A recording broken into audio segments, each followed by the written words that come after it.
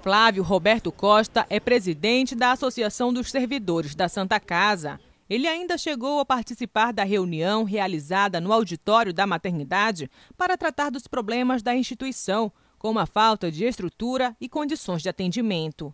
Para surpresa dele, no Diário Oficial do Estado foi publicada uma resolução determinando o afastamento do servidor por 60 dias. Tomei conhecimento através de terceiros que viram o meu nome no Diário Oficial e eu procurei verificar e constatei que, de fato, é, existe um pedido de afastamento sem prejuízo é, na remuneração. Só que existe um prejuízo para mim, sim, porque eu gosto de trabalhar e gosto de estar ativo para defender os interesses do servidor. Na publicação oficial assinada pela presidente da Santa Casa, Maria Eunice Begô, Consta que a medida cautelar foi tomada para que o servidor não interferisse na apuração de irregularidades que estariam acontecendo na maternidade. Mas ninguém da direção procurou o funcionário para prestar esclarecimentos. Para ele, a suspensão tem outros motivos. Na leitura do documento, a gente verificou que, por eu ter falado a verdade, pela primeira vez na história, a gente toma conhecimento que quem fala a verdade merece castigo. Seria o contrário, né? Mas é, a gente está habituado a conviver com esse tipo de, de coação e a gente não estranha.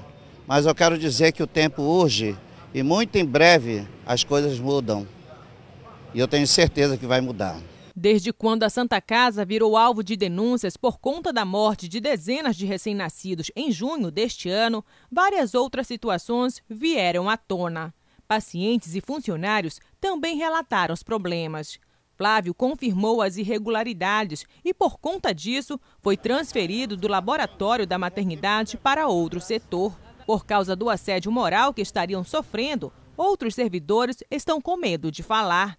Flávio promete recorrer à justiça para garantir o direito de continuar trabalhando. Nós temos uma assessoria jurídica que já tomou conhecimento, está preparando toda uma, uma documentária para formalizar um processo e a gente vai dar entrada no, no, nas, é, no Ministério Público e aonde couber para que haja respeito e reconhecimento do meu direito enquanto é, sindicalista, enquanto presidente de uma associação, porque eu não fui eleito para ficar calado, eu fui eleito para falar, para negociar.